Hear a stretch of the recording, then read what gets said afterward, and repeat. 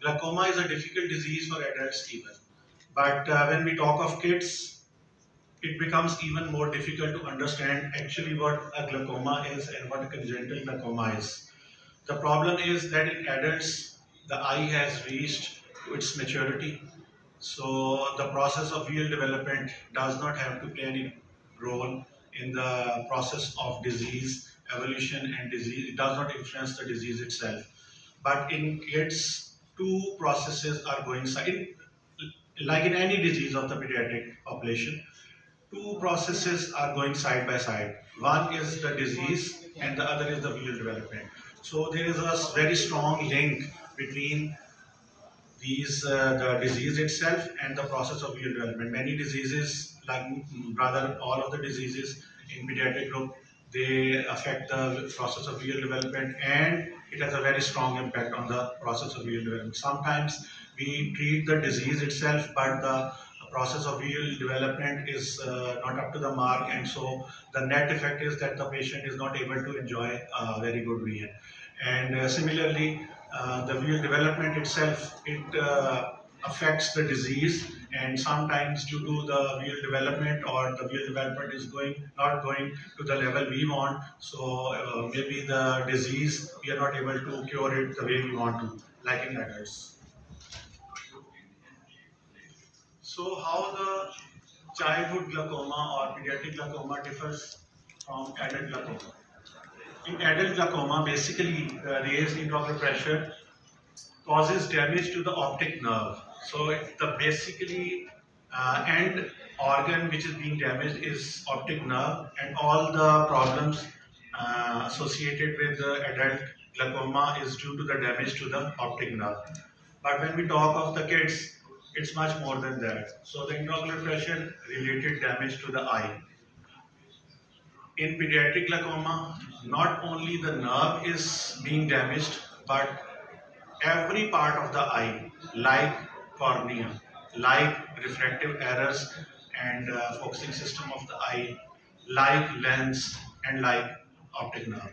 So we have lots of structures which are at uh, threat unlike adult glaucoma. So the first point which we need to understand is that pediatric glaucoma not only differs due to the development process itself, but the damage is not only to the nerve, but it's to the whole eye. So as you can see in the lower picture, it's a glaucoma, but you can't see any signs of glaucoma here on a general diffuse examination of the eye. But uh, in a full-blown case of uh, congenital glaucoma, you can see buphthalmos, you can see hazy cornea, you can see increased diameter of the eye. So you need uh, no fancy instruments and no fancy machines to diagnose a full-blown case of congenital glaucoma. Sometimes the care, the diagnosis is easy, but there are times when diagnosis is very tricky. We will discuss that also. So the childhood glaucoma could be primary, uh, which is congenital and juvenile, and it could be secondary, which is acquired and non-acquired. We will not go into the details of secondary glaucoma because uh, today I just want you to understand what a primary congenital glaucoma is. So what is that? It is a genetically determined abnormalities in the trabecular meshwork and anterior chamber angle resulting in elevated intraocular pressure leading to damage to the eye without other ocular or systemic development. So the damage is to the whole eye. The problem is in the trabecular meshwork and in the anterior chamber angle and it is genetically determined. Clinical manifestation, so the presentation is either in neonatal period or within first two years of life or it is after two years of life, which is called late onset congenital glaucoma. So there are the symptoms as far as the symptoms are concerned, there is a typical triad of epiphora, blepharospasm and photophobia. Uh, the signs are rapid enlargement of the eye, which causes corneal changes, corneal enlargement, and ultimately buphthalmos. And the IOP also causes stretching of cornea, breaks in the Descemet's folds, Descemet's membrane, and endothelial barriers are disrupted. which leads to corneal edema and clouding. So the red things are IOP increase, which causes buphthalmos and which causes corneal edema and clouding. The corneal signs again are buphthalmos, corneal edema, diameter is changed, uh, increased corneal scarring, and Haab's striae. This is a buphthalmos where uh, there is uh, the picture quality is actually not good, but you can see a little bit of uh, corneal clouding. And this is a full this is a full blown case with cornea is not just edimental but it has scarred. And these are the Haab's striae, the folds in the Descemet's membrane horizontal. So there is so as I said that this is a disease of the whole of the eye. So the sclera uh, is thinned out uh, and this is up to the 10 years of age because uh, the sclera and cornea in kids are uh, very flexible and elastic structures.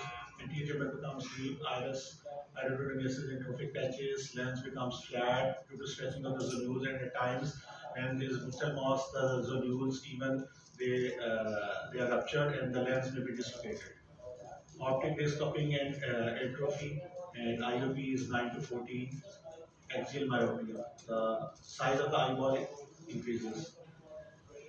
Gonioscopy using Koeppe lens. Uh, there is iris insertion anterior to the trabecular and directly into the trabecular uh, mesh is and is concave. Uh, vessels in the angle you can see.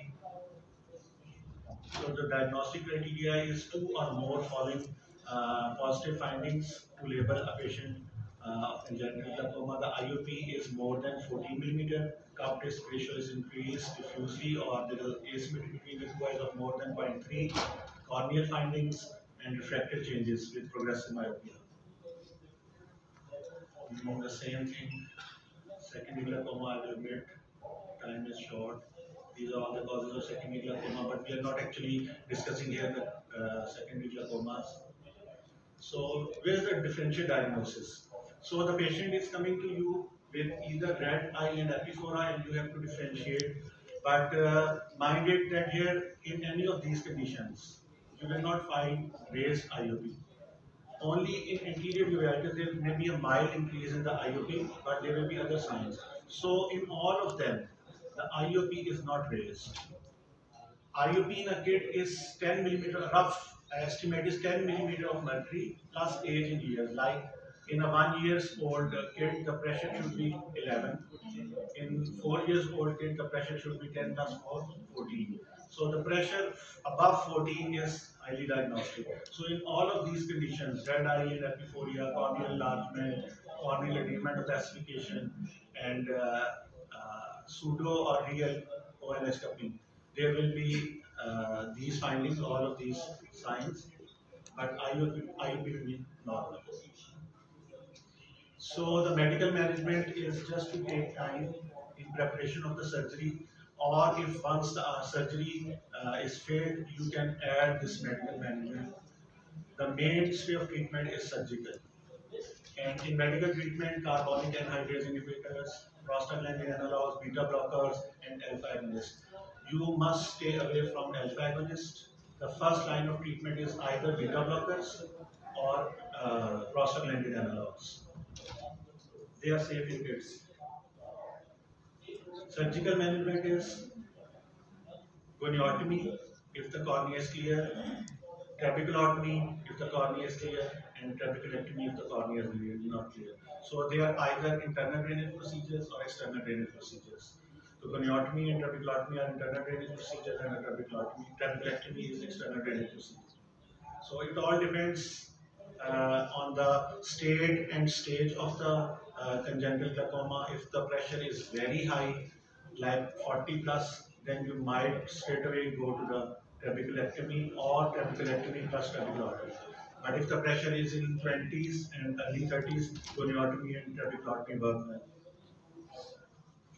And in refractory glaucoma, filtration surgery with antimetabolites like mitomycin C, uh, glaucoma drainage implants, and glaucoma valve is a very good valve and cyclodestructive procedures like diode laser or uh, cyclocryo. This is the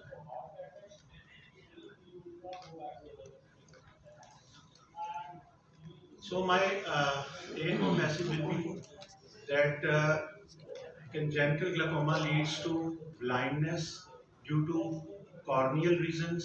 So the corneal blindness due to high refractive errors and astigmatism due to corneal scarring and it might lead to amblyopia. So the refractive errors and their related blindness. Lens might dislocate, lenticular blindness and optic nerve damage and optic nerve damage. So unlike glaucoma in adults, in kids we must look for and we must rule out corneal uh, blindness reasons and we must take care of them and all that which I have mentioned. So a congenital glaucoma is very different from adult glaucoma and we must take care of all these structures. Thank you so much.